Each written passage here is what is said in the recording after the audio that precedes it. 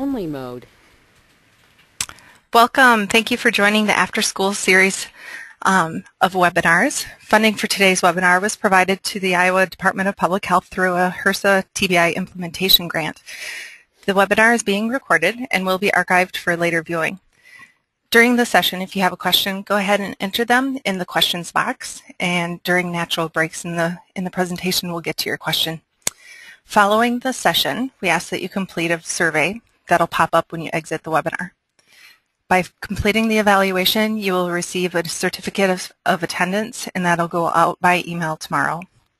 Today's session is returning to the classroom following concussion. Our speaker today is Leslie Denick. Leslie joined the Central College staff as an athletic assistant athletic trainer in 1998. She was named the head athletic trainer in 2003. In the fall of 2011, she moved into a more academic role as an associate professor of exercise science and continued to serve as an assistant athletic trainer with the athletic programs at Central College. Sorry, stuttering today. Um, she was appointed a class dean beginning in the spring of 2012 and currently works with the class of 2017 along with her academic duties. A native of Monroe, Iowa, Denick is a 1990 Central graduate and a certified athletic trainer. She received a master's degree in physical education with an athletic training emphasis from Indiana State University. From 1994 to 98, she worked with an orthopedist office in a sports medicine outreach program at a hospital in Terre Haute, uh, Indiana. In 2010, Denick received the Iowa Athletic Trainers Society College Athletic Trainer of the Year Award. In 2002, she received a Central Presidential Service Standards Award for her work at the college. She has served as a term she has served a term as Public Relations Director for IATC and she has spent one year as a member of the Iowa Board of Chiropractic. Welcome, Leslie, and thank you for being our presenter today. Thank you. Um, good afternoon, everyone that's joining us on the webinar today. Um, so today we're going to be talking about returning to the classroom following a concussion. And the topics we're going, um, I will start with my disclaimers. I don't have anything to disclose. Um, uh, I'm not a physician. I'm an athletic trainer with a passion for the issue of concussions. This is one of the things I spend a lot of time reading about every day. And um, this presentation is a compilation of the most recent research that I could find and the best practices related to returning students to the concussion, uh, classroom after concussion. Um, it's not an area that I have the ability to do research in, but it's one that I read voraciously about. So I feel very comfortable um, having these sorts of conversations with folks. Today we're going to talk about basic symptoms noticed in the classroom following a concussion, signs that a student may need to go back to the doctor, the time frame that their symptoms will last, the importance of following a doctor's orders and being in communication with a doctor's office, the importance of parental involvement and rest at home um, the adjustments and accommodations that teachers might use in the classroom, and then resources. And I believe that Maggie has emailed out um, the resources that I provided. There were four different pieces of information. Um, one of them was actually a list of resources and links that would be helpful. Um, so hopefully you will find those to be useful as we move forward, um, as you move forward after today's presentation. So first of all, we're going to spend a little bit of time talking about just the definition of a concussion and what those symptoms might look like. Um, so concussion is defined as a type of traumatic brain injury, or TBI, that results from a bump, blow, jolt to the head, or a hit to the body that causes the brain to shake around in the skull. And the best example that I can give of this is if you take an egg and shake it. You can't see what's going on on the inside of the egg while you shake the egg. However, if you open up the egg, you can sometimes see the damage that was done by physically shaking the egg. When this occurs in the brain, it actually damages brain cells and causes a cascade of chemical changes to occur in the brain that they're still researching to try to understand. Um, it's really important to know that you don't have to lose consciousness to have a concussion. You don't have to hit your head to sustain a concussion. Um, someone can fall really hard on their bottom and get a concussion. So it's um, it can be one of those things that's very elusive to figure out. Um, one of the other things that's really important to note is most of these kids look normal. They don't look like they have a problem. In the first couple days, they may have a dazed and confused look about them, and if you know them well, you can see that in their eyes or in their face, but you're not always going to notice that.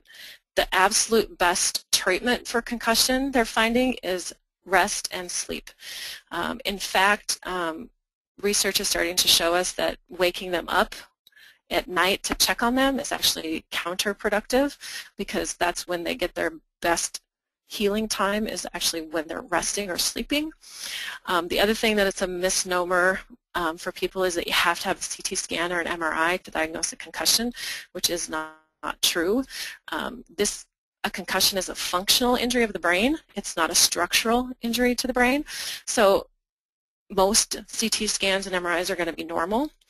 Um, just because that MRI is normal doesn't mean they don't have a concussion though. So it can be something that throws people off. Um, it's important to know that those tests are important for um, people who are having other symptoms for example, if they're getting progressively worse in the first 48 to 72 hours. So a good example is if they have a really good period of time, six, seven hours, and then all of a sudden um, they get a really nasty headache or they lose consciousness or they become really lethargic or uh, stumble and fall, things that are abnormal, so they were doing really well, and all of a sudden they've kind of gone um, backwards, that's a, that's a really good indication that they need to go back to the doctor and potentially need to have an MRI done, and then that's when the doctor would play a role there. So it's really important to make sure that if they do have um, regression in their symptoms, that they go back to the doctor and then they need to rule out other serious problems. So that's really what a concussion is. What are those symptoms? So this is a, um, uh, a chart that I borrowed from uh, the benefits of good concussion management um, out of the Rocky Mountain Children's Hospital out of Colorado. And it gives us the physical, cognitive, emotional symptoms that you typically need. Sleep is also there as well, but you really can't use sleep in the first initial diagnosis of a concussion. Um, so physically, the person is going to have a headache, which is the hallmark sign of a concussion, among others. Blurred vision, dizzy, uh, ringing in their ears, they see stars, they just look like they're not all there, so that vacant, blank look about their face. And then sensitivity to light, noise, those are the kinds of things that you're typically going to see physically. There's other symptoms listed there that make sense. Nausea and vomiting are common as well. However, I would contend that if a person has a concussion and they, they vomit once, they're probably actually going to feel better if they continue to vomit or vomit after during that 48 to 72 hour window, then that's probably a sign that there's something else going on, so you need to be aware of that. Cognitively, they just feel like um, there's a cloud or a fog over their brain, that things aren't really clear like they should be. They don't remember things well. They get distracted really easy. Um, they get confused. So those are the kinds of things their thinking isn't very clear. Um, and that can mag um, that can show itself in a number of different ways depending on the age of the student that you're working with or the child that you're working with or person. Emotionally, they may have emotions inappropriate for the situation that they're in. They'll be laughing hysterically at something that's not funny, or they'll be very angry for a reason that is really unidentifiable, so they'll have inappropriate emotions. They may be different, or they may act different, so their personality might be different um, they may be really irritable. They may be the happy-go-lucky kid normally, and all of a sudden they're very irritable. Um, or they might be really sad. So it's important to note the changes to your student. Um, and then sleep and energy, this happens after the fact, so you know, they have that initial injury, they've been diagnosed, all of a sudden they may start having trouble sleeping, they may um, not be able to sleep. They may be sleeping more than normal. They might not be able to go to sleep. So it's important to be aware of that also. Um, one of the other things that we're going to talk a little bit about, and it's also further into the presentation, is something that's um, been coined the Monday morning concussion. So you have this young person who gets injured in an evening game, maybe on a Friday night, um, basketball game, for example, since we're in basketball season, and um, they go home and they have a headache initially, but know they have a pretty good evening, sleep well. The next morning it's pretty low key. There's not a lot going on at home. Um, so they have a really quiet week weekend and it goes really well and all of a sudden on Monday morning you send them to school and their symptoms just manifest themselves with a vengeance. And that, that's something that they're diagnosing or coining the Monday morning concussion, and that's not all that unusual. In my role as an athletic trainer, I've seen that a number of times um, as I've worked with young men and women that have had concussions at the college level. Um, so they don't always get their symptoms right away, so it's really important that we acknowledge that. Symptoms are the way of the body the body's way of telling us that it needs more rest, both physical and cognitive, and we're going to spend most of our time talking about cognitive rest today. Um, the brain doesn't work like it's supposed to after a concussion because of all those chemical things that are going on. And the good news here is that at one to three weeks, they're going to probably be back to normal. Most students will be. But doing too much too soon can actually delay the process. So my favorite is the student who gets the concussion on Monday night's JV football game, and then they play video games um, the next day, and they don't understand why their symptoms are worse. Well, it's because of the video game. So that's just one example. Um, so it's really important that we honor the symptoms that the body is providing us. Um, so if we listen, our body tells us a lot of things. So one of the really important hallmarks and things we're going to talk about as we go through here is that what brings on symptoms and what is the time frame that brings on symptoms. So if it takes about 30 minutes to bring on symptoms while you're reading, it's a way for you to know that you did too much and you probably need to back off the next time. So we know recovery from most concussions is pretty predictable. Again, that one to three week time period time period. And um, over that period of time, we're going to gradually increase their cognitive level of activity. So home and social activities will be the first things that we're going to add back in. Physical activity actually is the last thing that gets added, and that has to be done with medical clearance, and we will talk a little bit about that more here in a little while. So when you're in the classroom or you're at school, what, what should you look for? Now this comes from um, the CDC returning to school after concussion document. Um, and what's really critical here as you read through this list, most of those things are going to make perfect sense, but it's knowing your child or your student that's most important. So you need a baseline behavior. Okay, so if you, you're new to this um, school or it's the beginning of a new year and you've never met this child before, you need to consult with a previous teacher or you need to talk to somebody who knows the, the child better.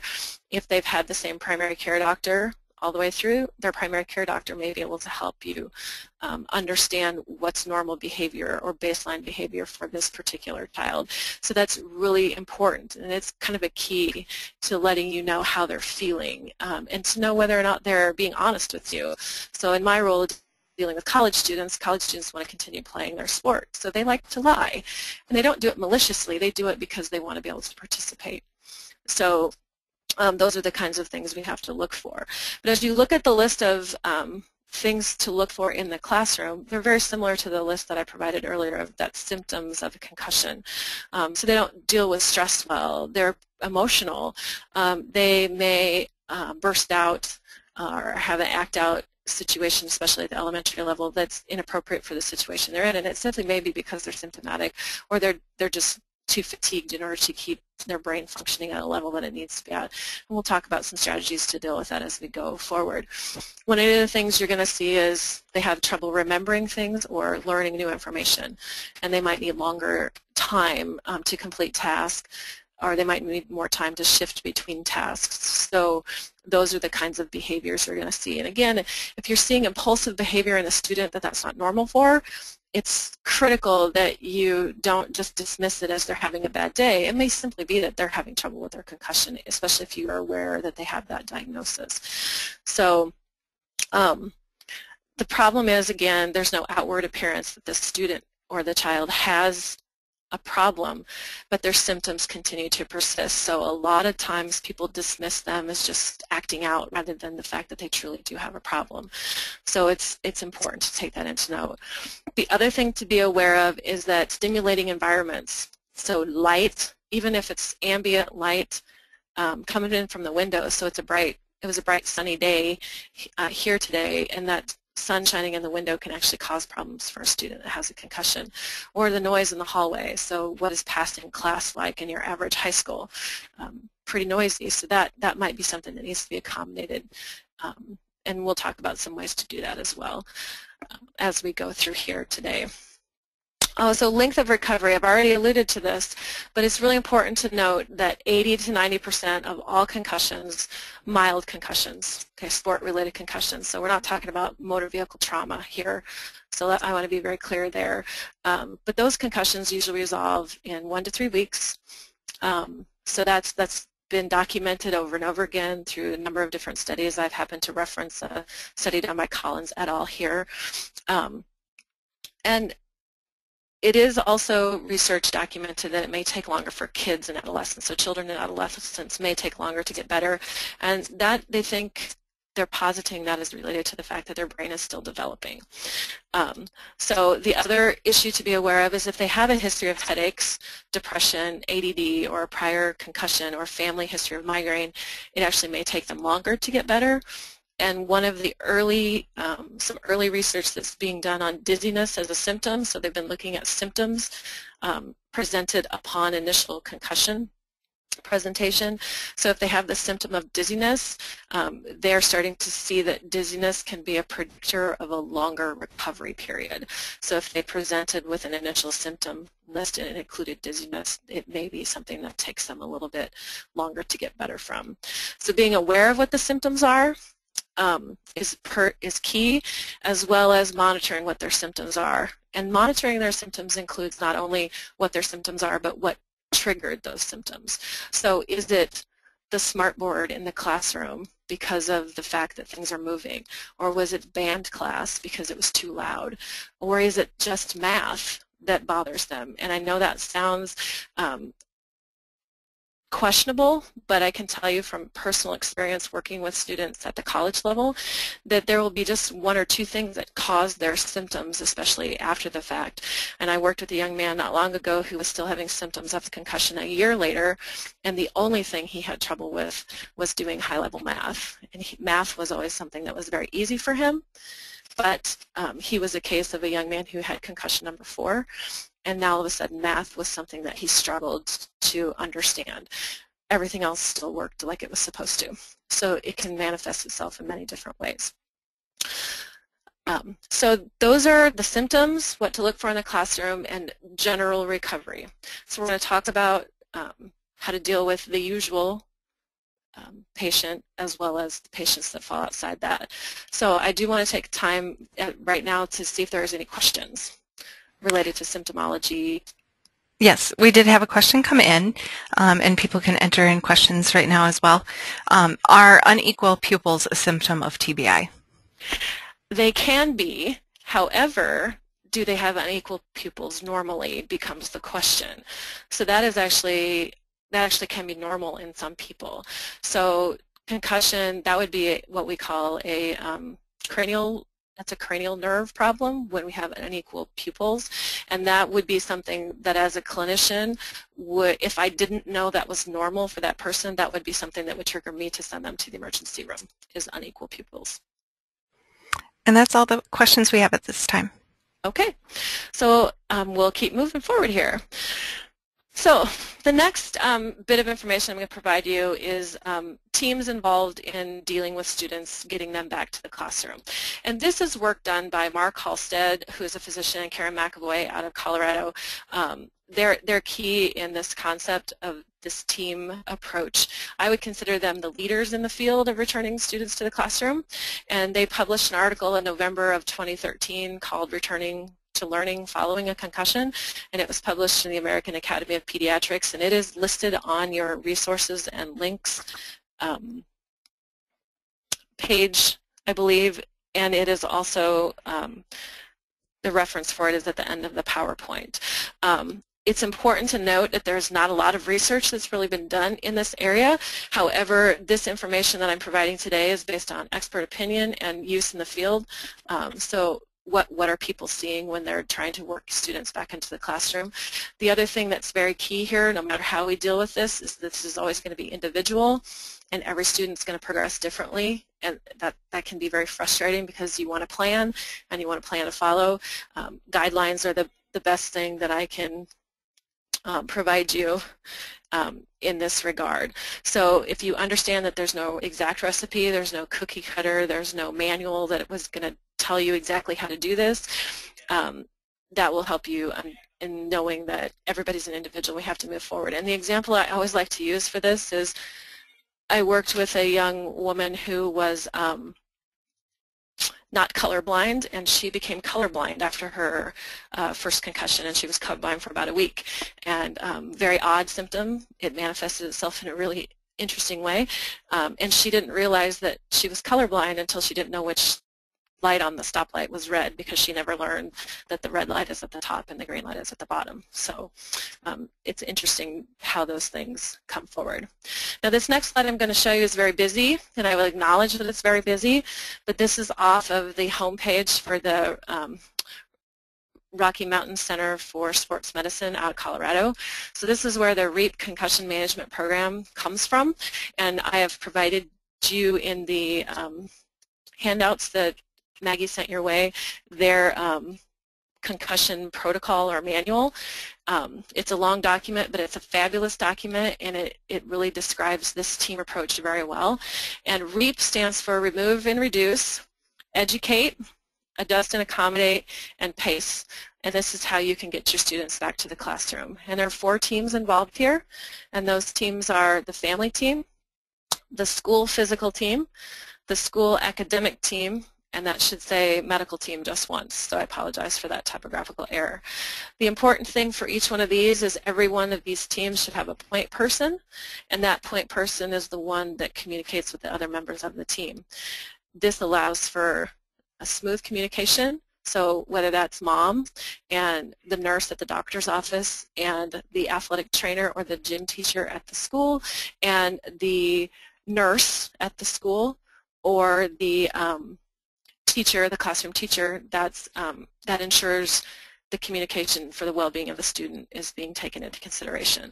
So what these four teams look like um, are right here. So we'll start with the family team. So this is the student, the parents, and anyone else connected to the daily direct care of that child. So this could include a daycare provider or a grandparent as well as, as a number of other people. Um, in the early phases, the student may not be ready to go back to school. So we need to acknowledge right away that they may just feel bad enough that being at school is not a good place for them. Resting at that point is much is to their advantage. Um, so as their symptoms become more tolerable, they should be able to start to do more things, and that can include um, short-term activities. That could include someone coming to the house for tutoring. I'm not saying that that needs to happen, but it's it's it's it's an option. Um, but those first days, the goal is to maximize their recovery. So this is the reduce and rest portion, so reduce their cognitive and physical activity and rest portion. And I want to go out on record of saying they shouldn't be doing any physical activity uh, at all at this stage of the game. That does require medical clearance from a physician or other qualified healthcare professional. And every state in the country has a concussion legislation, and it usually applies only to athletes, but it does, it can be used in application to all students with problems. Um, so there are a number of different ways in every state that that medical clearance can be attained. So if you're not in Iowa, um, I don't know what your law might say, but in Iowa it can be a nurse, an athletic trainer, a physician, nurse practitioner, um, or chiropractor that can um, release a student back to um, activity. The other thing that needs to happen at home is you need to reduce their sensory load. So again, um, no video games, no texting, no computer. Um, again, if those cause problems, they might be able to listen to music as long as it's not loud um, or have the TV on and listen to it as long as it doesn't bother them. But for some students, the sheer act of the pictures moving across the screen will actually give them symptoms back.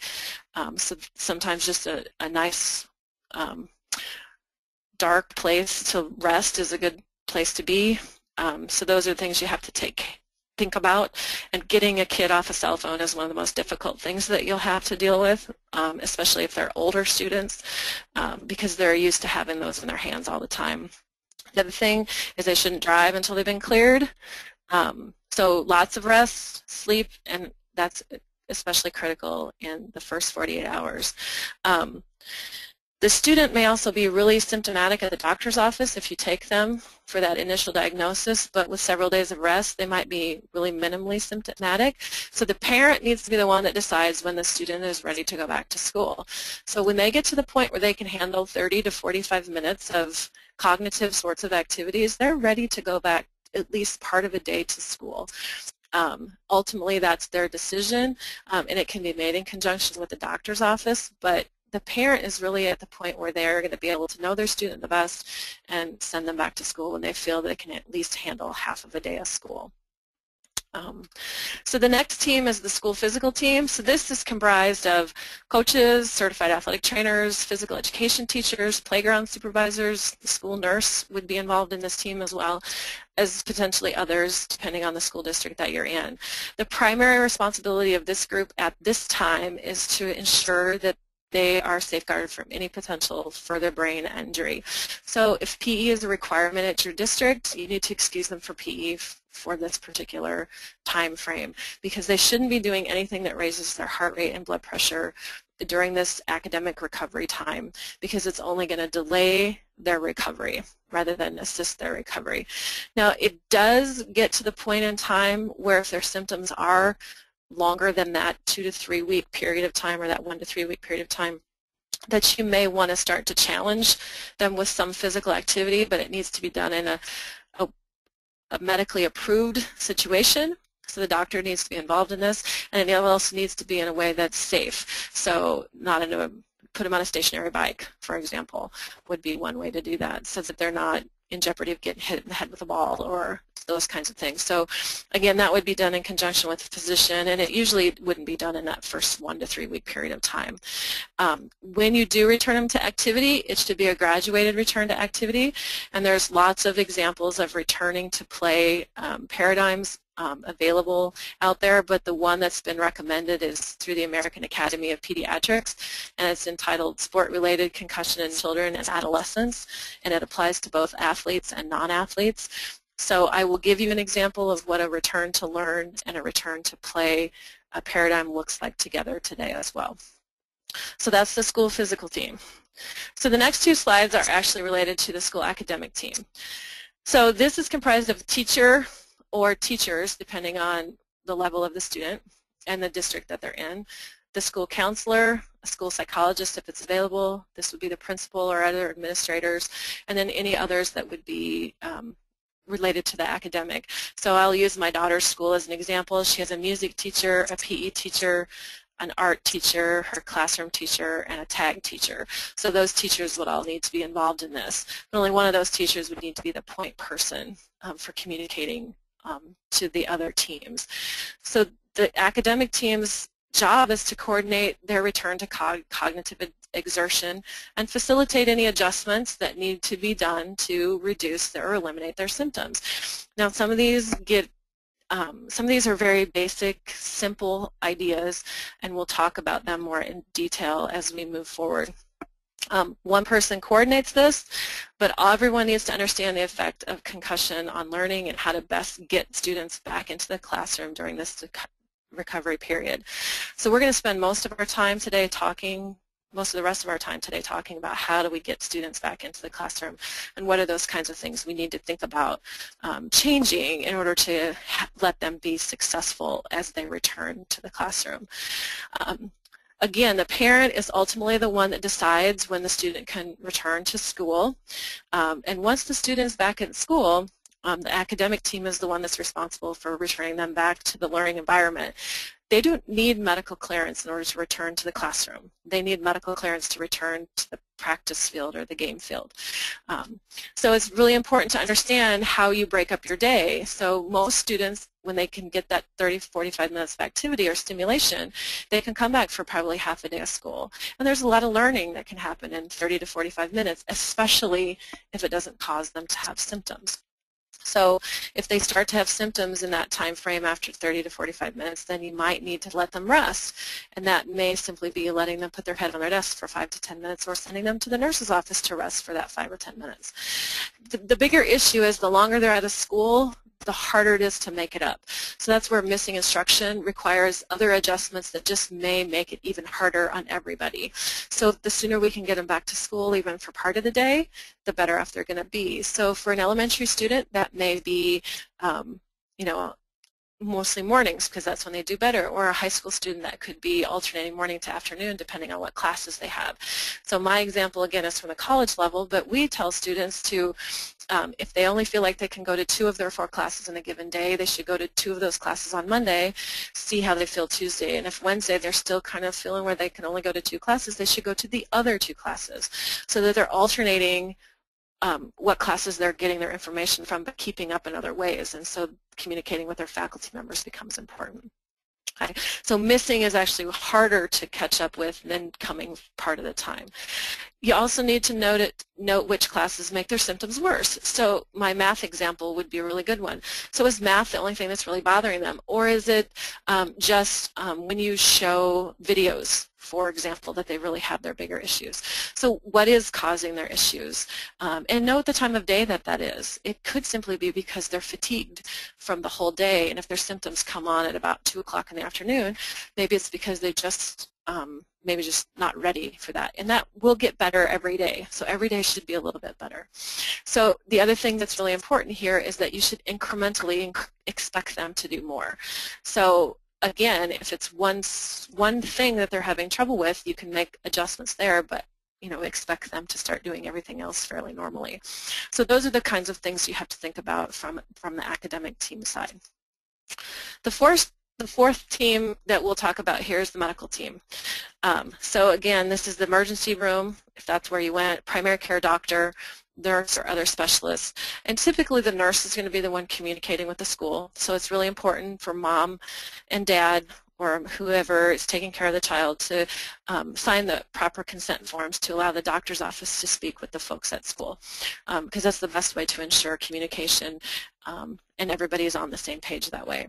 Again, they have to be removed from all physical activity um, incremental return to physical activity has to be medically cleared.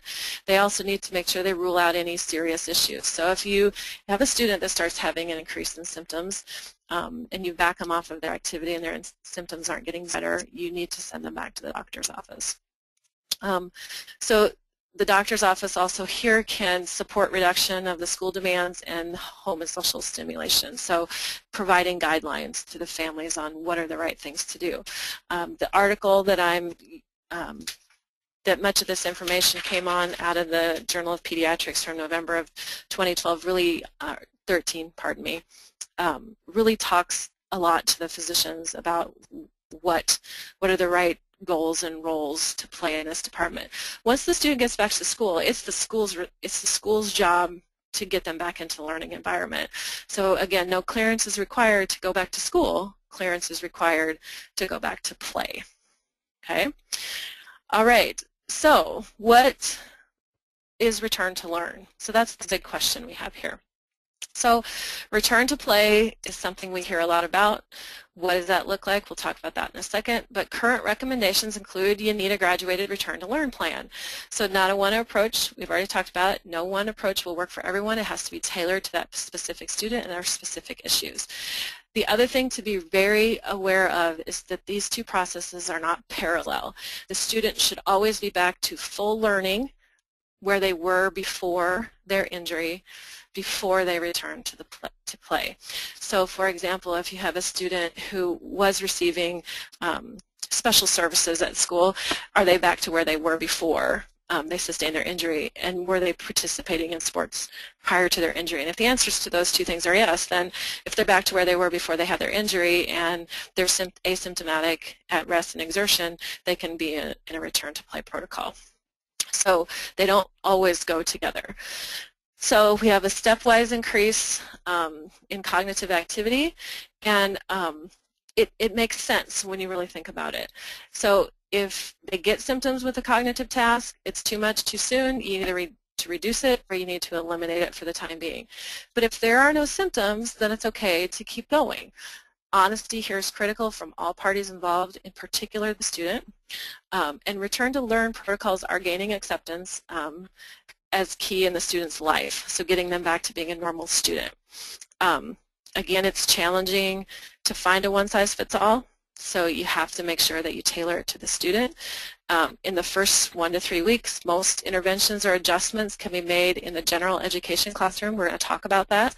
Minimal, minimal support will be needed from this counselor, the psychologist, the social worker, or the athletic trainer or PE teacher. But it, if they are, they're there. The school nurse will be an integral piece of this as well, because especially at the elementary level. At the high school level, if it's a sport-related thing, it's probably going to be an athletic trainer if there's one on site. Again, the school nurse will play a role here in, in coordinating this activity. Parents should also be following up on a fairly regular basis just to make sure that adjustments are being made, um, you know, weekly at minimum and um, communication is really key. The other thing that, that really was highlighted um, by these two authors, Halstead and McAvoy, is, is it important for physicians to understand the educational terminology. So academic changes are the school's purview. So making adjustments are, goes to the responsibility of the school, but the physician can help.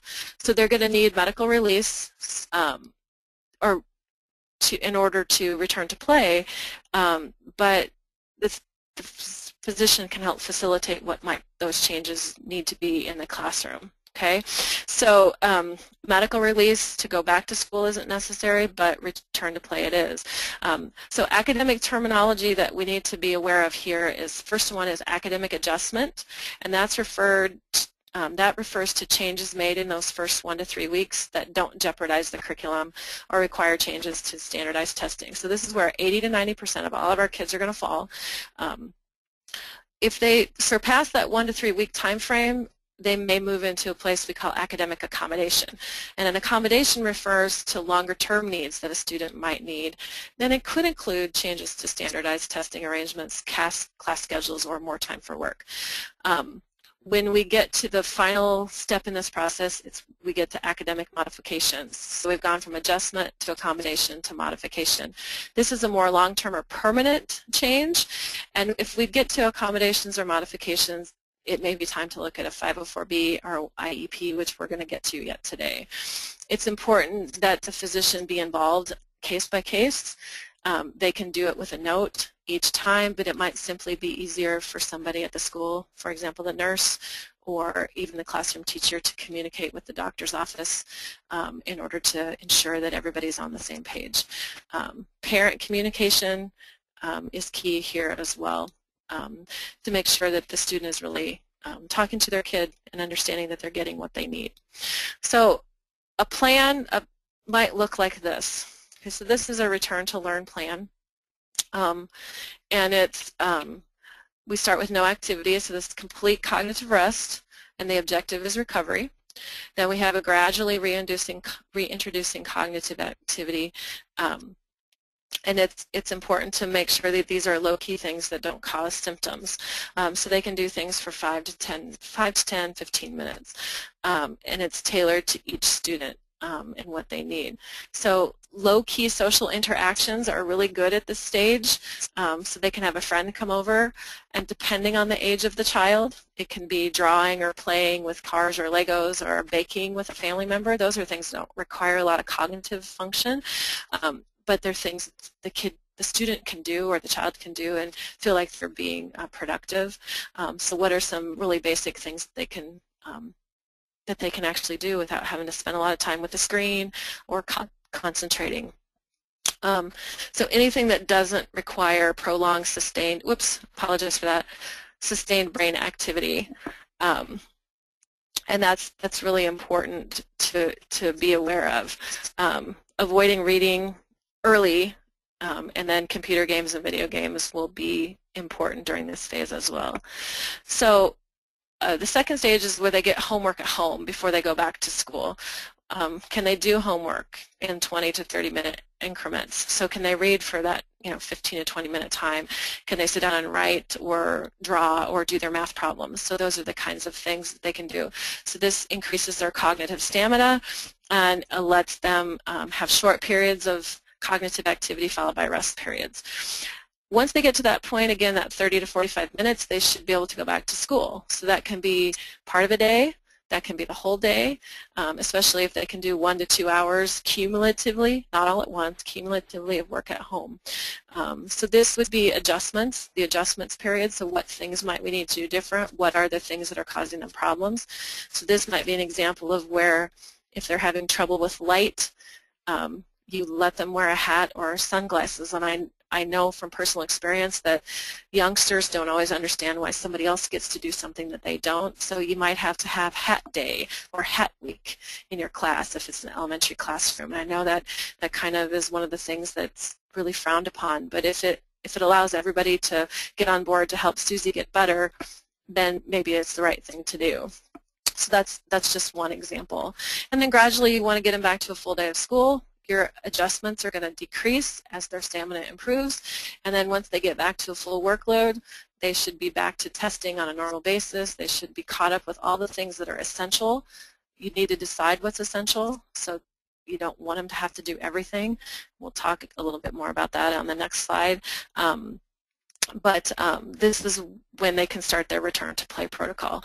And the return pro to play protocol simply means raising their heart rate and blood pressure for 20, 20 to 30 minutes of activity, and if for 24 hours they stay asymptomatic, they can go to the next step. No student should return to activity in less than five to six days. So most return to play protocols take a minimum of five to six days to go through. And then they can be back doing all the things that are normal for them as well. Um, are there any questions here?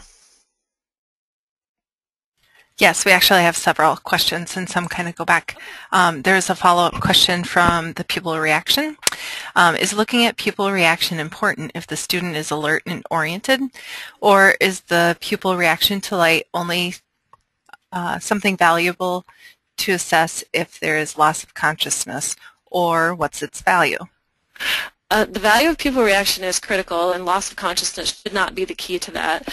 Um, loss of um, the pupil pupil dilation can actually be a, um, a, hint that there's something actually structurally going on in the brain.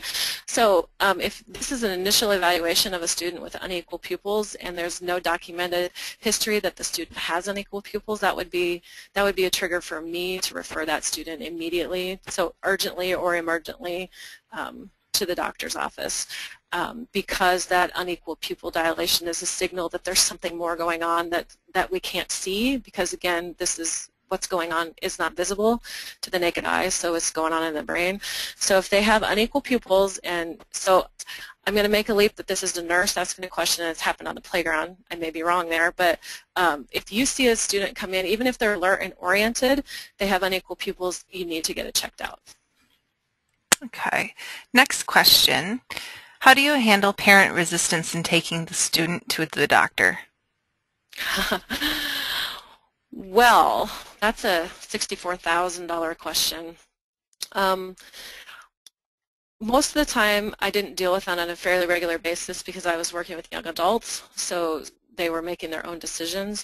But um, I understand that that can happen. It can be mom doesn't believe or parents don't believe that they have a problem or um, they've cried wolf one too many times or um, they simply can't afford to go to the doctor's office. Um, you may have to resort to, um, and, I, and I don't want to say it this way, but because it's going to come out wrong, but you may simply have to just be very blunt in the possible side effects of ignoring a concussion because um, secondary second impact syndrome is actually very real and 50% um, of the patients that sustain second impact syndrome, so a second concussion after having one concussion actually die. So um, it's pretty critical to get students checked out. Um, however, um, you know, based on my own personal training, I would be comfortable watching my own daughter, um, but would, if her symptoms were strong enough, I would take her to the physician as well, so I wouldn't simply dismiss it out of hand either. So I, I know I haven't answered your question and I haven't necessarily given you any good feedback, but the best thing I can do is run through the risks of a student that has a concussion being ignored and what can happen to them. Um, and I can provide resources to that individual on a couple YouTube videos that will, will actually um, make your heart break if you watch them. Uh, one in particular of a student who personally ignored their own concussion um, and continued to um, participate in football. And he, tragically, um, he's he's alive, but um, I'm not sure he would describe his life as a life anymore. Um, so that's the best I can offer. And it's about education. That's where all of this is going. It's it's about educating on people people on what they are. And the media has hit it so hard now that people are really dismissing it, and that's part of the problem as well, is it's on a national consciousness level now, and people are saying, well, it, it worked for me, I got a bump to the head and I, I'm fine. Well, you beat the odds, and that's important, and that's, that's great, but do you want to take that risk with your child becomes the question. So I'm not sure that I have really good information for you there, but um, that's the best I have to offer. Okay. Is there a law or regulation on the number of concussions a student can have before they are out of sports? No, there is not um, because it's such an individual um, scenario. Um, they are researching that all the time. So there are those who would say three, there are those who would say five, and there are those um, whose parents will say, you're not ever doing this again, and so it's one and done. Um, but the other thing that's important to note is that not every student sustains a concussion because of a sports-related sort of problem, and some kids are just unfortunate um, and happen to be in the wrong place at the wrong time. So um, I've had season or career-ending injuries that happened on my campus that weren't even athletic related. Slip and fall in the shower, slip and fall on the ice, uh, wrecked my bike, um, was in a car accident, you know, so those aren't even sport related, so it's really hard to quantify, um, you know, how many is too many. And um, I, I don't know that they were ever going to get there. So there's a lot of research going on right now in the number of concussions, the severity of concussion, We've gone away from grading concussions, so we don't grade them anymore. Um, you either have one or you don't. Um, they're not based on loss of consciousness, so it's all based on symptomology and it's all very individual. I will tell you that the research indicates that the more concussions you have, the longer it will take you to get better from your previous um, this time than it did from your previous concussion. So what took you one week the first time might take you three weeks, the second time might take you six months, the third time. Um, and so those are the kinds of scenarios that you'll deal with because your brain just needs more time to heal. So there isn't a standard on how many is too many today. Um, I'm not sure that that won't come out in the next two to five years, but there's no guarantee that's going to happen either. Okay, we have a few more questions. Um, are there certain medications to avoid while having a con concussion in regards to treating headache? Yes, so if the student has not been to the doctor um, and been told that they may take it, you should avoid any ibuprofen-based products. So if the student has been to the emergency room and the doctor has said it's okay for you to take ibuprofen, then it's okay. Um, until then, you should avoid ibuprofen and only take um, acetaminophen-based products. Um, ibuprofen-based products that can actually um, cause increased bleeding response time. So anyone who's had elective surgery knows they've been told they're not supposed to take any ibuprofen-based products or aspirin-based products before two weeks before their surgery. Well, the reason they do that is because it makes you bleed more while you're having your procedure. So if you stick stick with Tylenol or acetaminophen until you've been otherwise given instructions to take something different. So that's just a good rule of thumb to remember. Okay. Um, what do you suggest for a head bonk on the playground? For example, the student who hits a metal pole while running presents with no head injury symptoms initially. Do we pull him from PE and other recesses for the day until we assess increase of symptoms? Quite frankly, I would because adrenaline um, is a fantastic uh, body-produced drug. Um, and usually after they've calmed down and their breathing comes back to normal and they've sat for a while is typically when their symptoms are going to come on. Um, give them an alternative, let them choose a friend to stay inside and play a game with. Um, you know, a board game or something like that would be ideal. Um, so you would want to check them out initially. If they have a bump on their head, which is pretty likely if they ran into a metal pole, you might want to put some ice on it for a short period of time. Um, and then um, see monitor their symptoms over the course of the rest of the day. Um, so the standard um, in most concussion legislation is if you suspect a concussion, so if I ran into a metal pole, I would suspect a concussion if I hit my head. Um, I would they, they need to be pulled for the remainder of the day. And then you can check them out the next day. So I would let mom and dad know this is what happened at playground. Um, you need to watch for these things. So that would be a change in their symptoms and change in their personality, vomiting, nausea, um, headache that doesn't get better, they lose consciousness. So Those are the kinds of things they want to look for, but they want to let them sleep and they want to see how they feel in the morning. And my mantra has always been another 12 hours isn't going to kill them and I should put that in quotations, and it's hard to do doing it this way, but it isn't going to hurt them to sit out for the rest of that day, and they're going to be fine the next day, then they then they can return to everything like normal. So being cautious is in your best interest, in my opinion, um, because the concussion legislation really says if you suspect a concussion, they're done for the day, and then somebody needs to make a determination if it's okay for them to continue normally um, after that. So taking a look at them again the next morning when they come to school is a really good idea. So sit them out for the rest of the day, um, let them do something else so they don't feel like they're being punished. Um, so that's the biggest issue is that, that stigma, I'm being punished because this happened to me. Um, so that's important, but by the same token, you want to make sure that they're okay. Okay, and I'm going to hold the rest of the questions in the interest of time, and perhaps either you can answer them at the end or um, respond by email. Is that okay? okay. That would be great. Thank right. you. Mm -hmm. So um,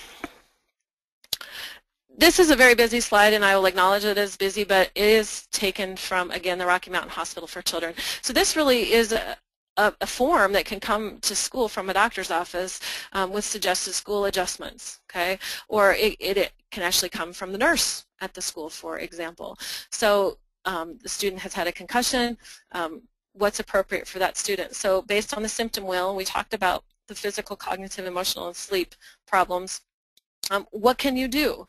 So um, strategic rest. Give them 25, 15, 20 minutes during the day um, to rest, be in a quiet place. Let them wear their sunglasses. So it's sunglasses week in grade three, for example. Um, they need a quiet place to eat lunch because the lunchroom can be um, really loud. Uh, lots of silverware, lots of kids, whole bunch of stuff going on. They might just need a quiet place that's not full of stimulation. Um, so those are really easy examples of what they what you can do when they have physical symptoms. Emotional. So kids that get overwhelmed, what's the signal? Can they just leave the room? Um, they need to know if they're they're having an issue and they've escalated in their symptoms or their emotional responses, they need a place to be able to go. And they need somebody to talk to. So again, this is where the nurse can play a role. Uh, uh, most schools will have a nurse that's that's available at school on a regular basis. Um, a counselor at a high school might be an option as well.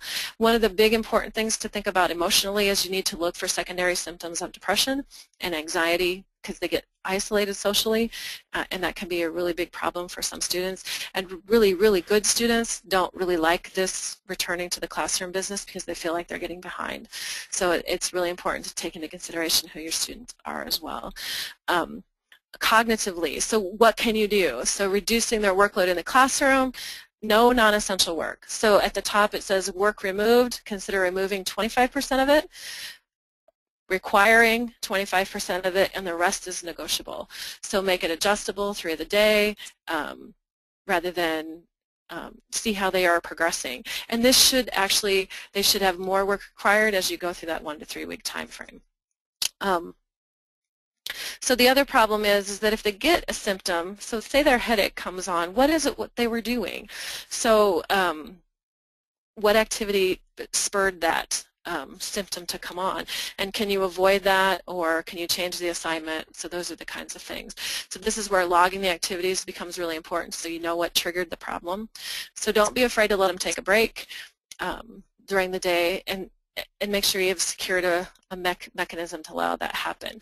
Um, anything that requires quick eye movements might need to be changed for students who have trouble with that sort of problem. And this is where headache can become the predominant symptom. We've talked about bright lights and exposure to light and ways that you can mitigate that. Um, sound can be a really big problem for students. Again, a crowded hallway, um, shop class, um, music class, um, even going to um, an assembly or a concert or a basketball game might be a problem. So these are things that um, you might have to make adjustments for. So this is a really um, good piece of information, and this is available off of the Rocky Mountain Hospital for Children website. This is actually out of the uh, manual from REAP, um, and this divides it out by team. So the family team is orange, that's their responsibility in the first three weeks. The school team, physical team, three weeks responsibility. The academic team, what can be done, and then the medical team. And again, symptoms are a part of this. So, and it's normal to have those for about three weeks. When they get longer than that, then, then we have a problem. But this really outlines it quite nicely as to who has what responsibility during this time frame. And they've thrown the athletic trainer in here on the school physical team as well. Um, if you have an athletic trainer, for example, at your high school, they can be a pretty good ally in this particular environment. So don't be afraid to um, don't be afraid to utilize them. And in the interest of time, I'm going to move forward to the last section. So these are the special circumstances. These are the kids who don't really necessarily get better. So response to intervention is something that um, anyone in education, especially elementary and secondary education, is familiar with. So um, response to intervention came out of the 2004 Reauthorization of Individuals with Disability Act, or IDEA. And this says that good teaching and reasonable academic adjustments in the general education classroom supports 80 to 90 percent of students with mild or temporary problems. This falls, concussions fall here. Okay, so this is return to learn. That's what I just outlined. So if everyone's honest, communicates openly, and cooperates, most students will be back in one to three weeks. Now, for the student who's not back in one to three weeks, where do you go with them? Okay, so that's where a 504B plan comes in. So this is a targeted intervention and this is available for a child who needs a longer-term academic accommodation in a regular classroom but doesn't qualify for special education, so they don't need an IEP. Um, the doctor can facilitate this process by providing medical documentation based on the symptoms that are persisting um, that may limit the child's ability for instruction. The documentation done by the school's academic team is critical here related to the child's um, progress to the initial adjustments that were made and allowing them to get back into the classroom. Um, and you still need to keep the this child out of physical play at this point in time. So the doctor needs to understand that the child has got to be fully participating in academics where they were prior to the concussion before they return them to extracurricular activities. So a 504B plan can be something that um, it's too much for the regular classroom teacher to handle. They need a little extra assistance in this one area. So 504B might be the way to accommodate that for the remainder of a school year, for example. So a shorter period of time um, than an you know permanent classification, but it allows them to complete um, their their year of school.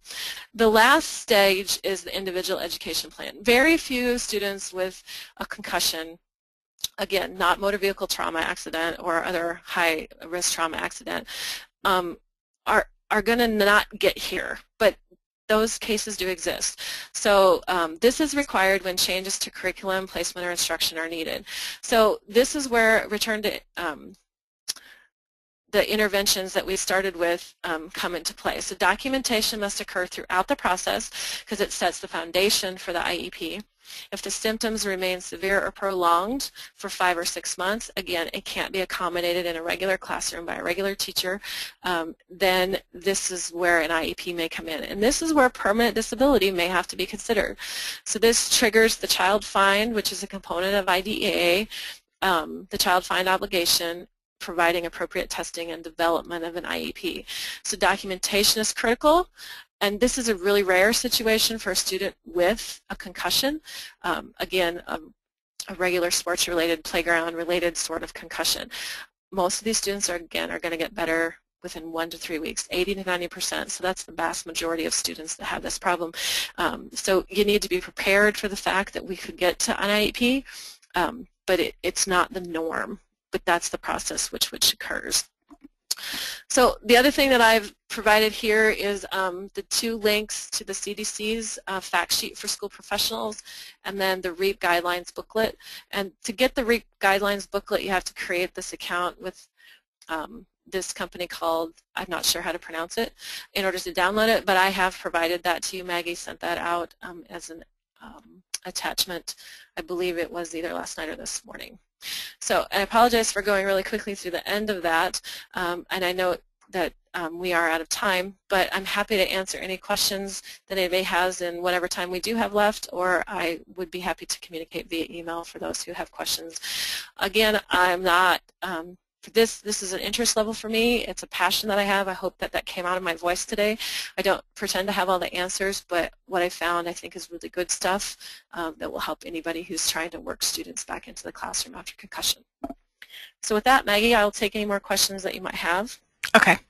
Um, and just to let people know, if you did not receive the link to where, the website where the um, those handouts are at, I did enter a link into the chat box. Um, that should be in your um, toolbar. So, um, okay, so the questions. Team approach is desirable, but what are options for team members when rural districts lack nurses, counselors, and psychs on contract at, only at school maybe one day a week? Well, that, that does um, that does complicate the situation. So um, when you are in faced with that particular situation, do you have a team approach where there are more than one teacher that works together, or this may be where the principal um, on site gets involved. Um, it may be a situation where um, I don't know how resources can be allocated, but is there a way to allow the nurse to come, you know, for half a day um, if you have a series of students or a student that needs that sort of intervention. Um, they can still, um, because of our advent of technology, they still should be able to communicate fairly regularly um, with the student. But, um, you know, if in the particular situation you've outlined, if a student gets sick in that rural district, what happens with that student? Who would who would be the one that calls mom and takes care of the student until they come to pick them up? Um, so that that one's a difficult one for me, um, and because I, I don't work in that environment on a regular basis. Um, and so I think being creative and thinking a little bit out of the box about ways to help accommodate the student and get them um, the assistance that they need throughout the course of the day without overburdening the classroom teacher because I think that's what really happens here is the classroom teacher is the one that's going to take the brunt of it and they're going to need a little additional support. And so who can that person be?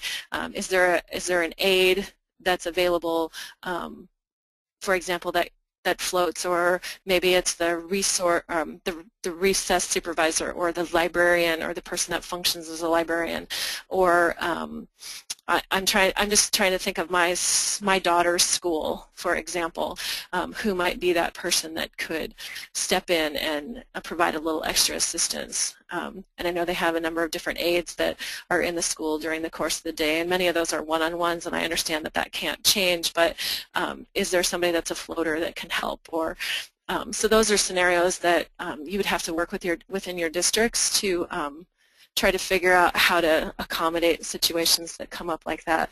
But um, being creative is probably the best bet in that regard. Okay. Are the academic team members educated on TBI, symptoms, and return to school adjustments? Well, hopefully, um, but again, the resources that I've provided really are an excellent education um, synopsis for student or for people who would be put in this situation and really outline um, really outline good things for you to be aware of.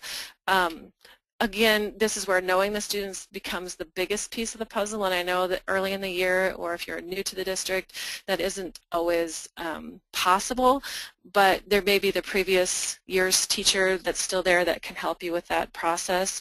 But education becomes the biggest tool in your arsenal in this particular situation. And I really, it's hard for me to, to convey how really valuable, um, especially the REAPs, the REAP benefit of good concussion management tool is.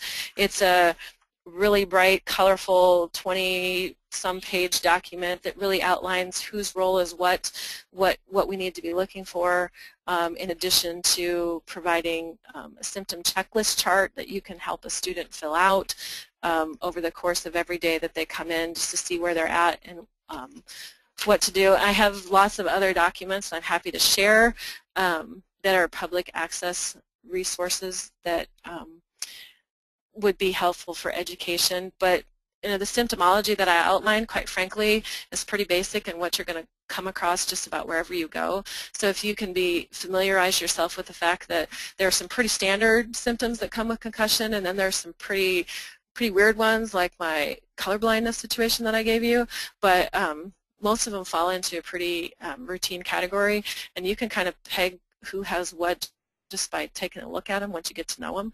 Um, and even if you don't know the student really well, you can tell when they don't feel good. Um, so that that can be a clue. So if you trust your instincts in that regard, that can be helpful as well. Okay, there is one question um, if you're able to share your PowerPoint or um, if that is unavailable. Um, I, I can get that out to you yet later today. Okay. Maggie, if that would be okay. Mm-hmm. Um, okay, and then uh, there are probably about 10 or so questions. I don't know if you want to try and push through those um, or if you want to try and respond by email or... I have I have about 15 more minutes if okay. that works for the people who are still on the webinar. Yep, I just did a look and it looks like some of those people are still on. So, um, can a school implement an education plan for each student post-concussion without a doctor's order? Yes. So the doctor doesn't need to be part of the return to learn process. Um, so the school really, again, it's the school's purview to get them back to normal academic. They don't need clearance to come back to, to school necessarily or even to return to learning. They have to have clearance to return to play. So that's the, the biggest the biggest difference. Okay, next question. What to do with a student that is five months post-injury with daily headaches still? Oh, well this is a student who probably, if they're not under the doctor's care, they need to be under the doctor's care because there may be some underlying problem. So if a student isn't getting better in that one to three or we've reached that five month period of time, it's time for more answers and it's probably time for more testing. Now if that has happened and there aren't answers, which quite frankly could be the case, um, learning to manage what causes those symptoms. So this student probably needs to be um, educated on keeping a, a, symptoms checklist and triggers journal basically.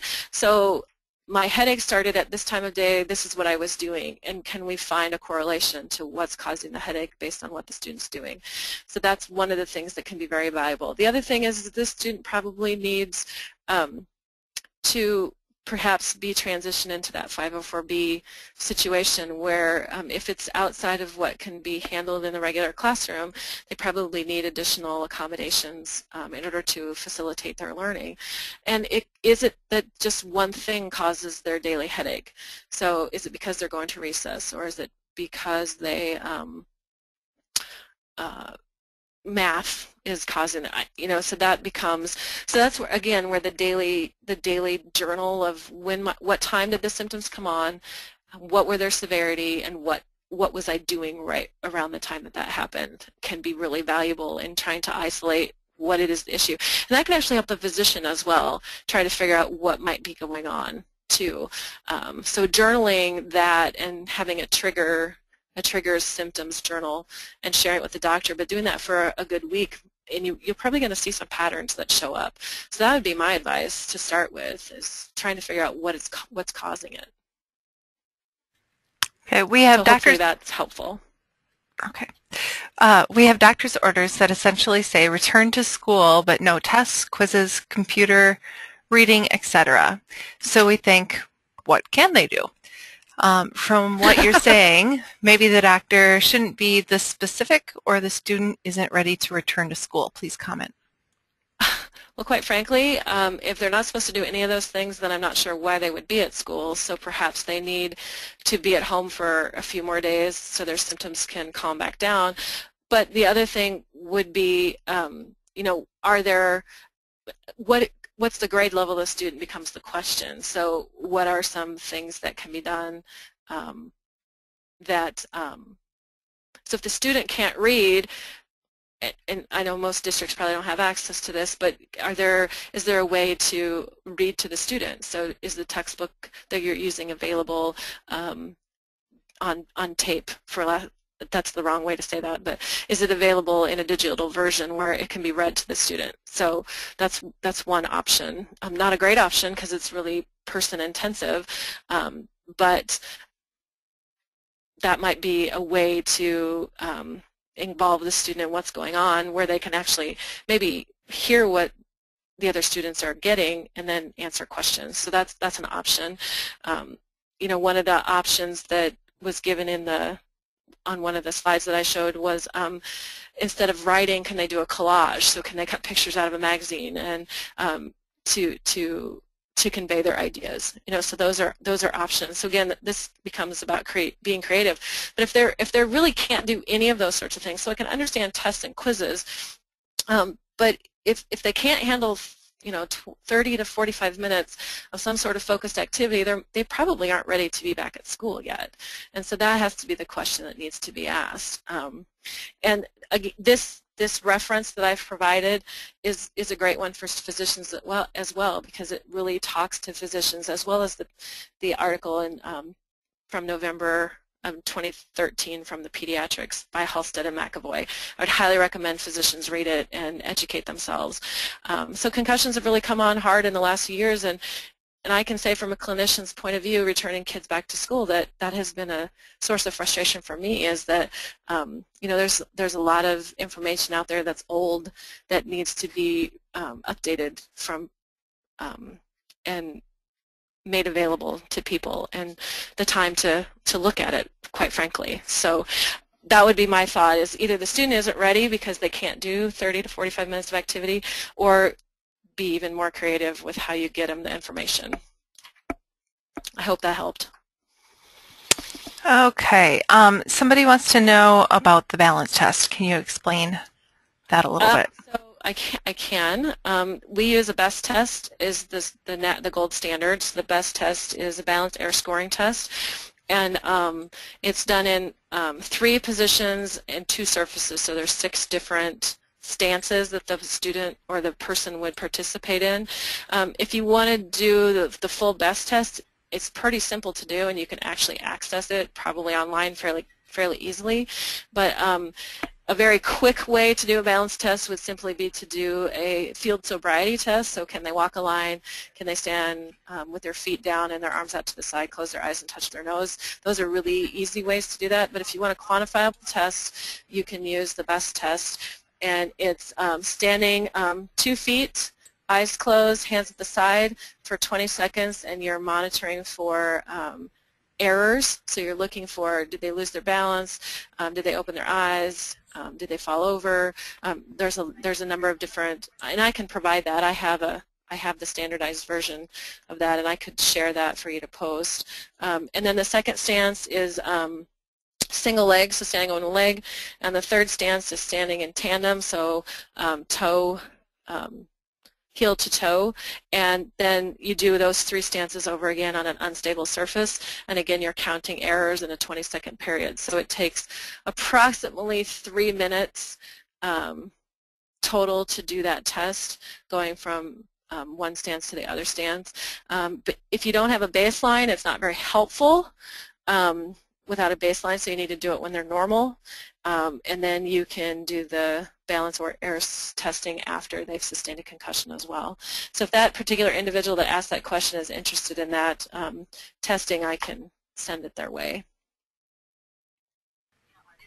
Okay, so, uh, there was a follow-up to question to one of them, uh, one of the answers that you had. I'm confused by your statement that students do not need clearance to return to academics at school.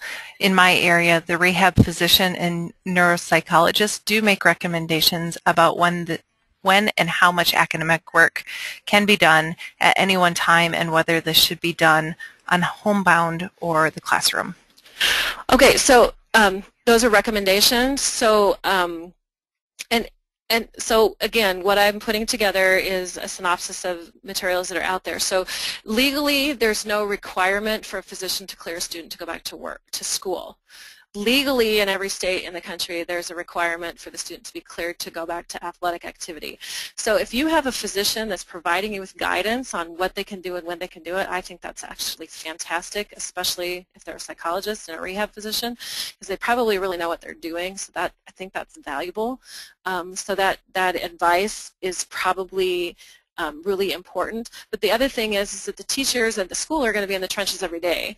So you're going to see how the student is progressing. So are they getting better? And if they're getting better, are they ready for more cognitive exertion? So if the physician saw the student on Monday and by Friday they're feeling really good and they, they really feel like they can do more, you're in the best place to see what their progression has looked like. So do they need to be as restricted as they were on Monday, on Friday. So you have the the benefit of watching them get progressively better. So I think I think having the guidance, the recommendations from that that physician set that you described, Maggie, is really critical and very helpful as as a place to start. So um, legally, um, they don't have to provide that clearance, whereas having it is a bonus. I think it's a really positive bonus. So I would go with it, quite frankly. And then you may be able to progress them based on the student um, unless they're seeing the doctor every day, but that's the problem. You see them every day, the doctor doesn't see them every day. So I hope that kind of clarified that question and made it less confusing. Okay, and someone just, I don't know if everyone can see the um, questions asked, but somebody wanted to remind folks that all AEAs should in Iowa have the brain injury resource teams. Um, and Howard, it's 5 o'clock. Did you need to go, Leslie? Um, if you have one more, I can do one more. There are a couple questions. Um, do you have comments about second impact syndrome? Um, second impact syndrome is really scary and I don't want to ever have to worry about it. So my mantra has always been they can live to hate me another day as an athletic trainer. So if that means taking them out and they're mad at me and they're mad at me for the rest of their life, I hope it's a long and healthy hate. I, I know it's right, but it's what I feel. So um, there's no reason for a student to ever suffer from second impact syndrome if you know they've had a concussion and they've been honest with you. So it's it's really important. Now, um, that's within your control. So the kid that has a concussion and gets in a car accident, we can't control that. Um, so those things can happen. But if everybody's being honest with everyone in this whole process and we've it's it's real, there's no reason a student should ever suffer from second impact syndrome. Um, and part of the problem that we deal with occasionally is, as in the scenario as I teach young athletic trainers, is the little boy who cried wolf is real. And when you have the little boy that cried wolf, you get really tired of dealing with their problems that aren't problems until they really have a problem, and then you have a hard time figuring out what's real. So you always have to treat them like their situation is valid every time they come to you because you never know when that you never know when that situation is going to come forward. So second impact syndrome is not something I ever want to have to deal with as a clinician. Um, so I always err on the side of caution um, when taking students out when it comes to athletics because um, their life is not worth one more play, one more game. Um, and many will tell you, and the example that I show my students every year is, um, is a young man named Preston Plevretes. Um, he sustained a second impact injury, and um, he will tell you today in his advocacy work that he, if he'd have known the consequences of his behaviors, he would have waited one more game. And I think that's pretty telling. So that's that's kind of where I fall on that one. Okay, and then um, just a, probably a quick one for you. Does uh, Central implement Return to Learn um, for athletes? Is it trainer or coach initiated or student initiated? Well, because of FERPA and our students being 18, um, we've been working through this process for the last couple of years, and it's actually a combination process um, where the athletic trainer tends to be the lead person on it simply because they're associated with it, and then in my capacity as class dean, um, our, I have three counterparts, so there's four of us. We work with the athletic training staff and the students. The students are ultimately the ones that have to contact their faculty members, but we have the ability to, to assist them in that process, and we do work with them to get them back into the classroom. Um, they have to know their own, their own limitations, though. Um, and we, we try to work them through the process of how to alternate classes and which classes to go to and, and um, letting their faculty members know their problems are actually real. Um, they're not going to get out of their work. They don't want out of their work. They simply may need more time. Um, they need more time to take a test. They may need more time to write a paper. Um, so those are instances where we do intervene and um, we do help students through the process of getting back into the classroom because ultimately that's what they're here for is to get an education and, and we do want to facilitate that. And again, 80 to 90% of our students, and probably closer to 90% of our students get back to the classroom within a very short period of time without any trouble. Um, but we do have the occasional student with lingering problems and it's usually isolated to one area and so we simply work with them on that. Um, and it, it can be challenging, and we also have a student support services office that assists in that as well, so um, which is a federal pro, a federal program. And so we do have the access to some sorts of, they're not special education processes, but we do have access to some of those kinds of services for our students if they're if they're in need of them. So that's how we try to do it here. Okay. Well, um, there are a few more questions on the table, but I think I'll work with you to get those answered offline out of uh, the interest of we are quite a bit of time over. But I do appreciate we still have quite a few people on on the call, so um, thank you for all of you that were able to stay on to get the additional information.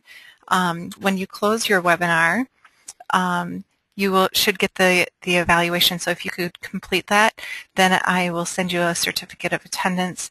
Um, that probably won't come until tomorrow, so I'll just let you know. And then I've been asked um, to supply a couple of other pieces of information, and so I will send those out to attendees as well. So um, if you have any additional questions for us, feel free to use the registration email that you received to respond to, um, and I'll try and answer your questions if I can. So thank you all for attending today, and thank you, Leslie. Thank you, Maggie. Okay. Goodbye. Bye.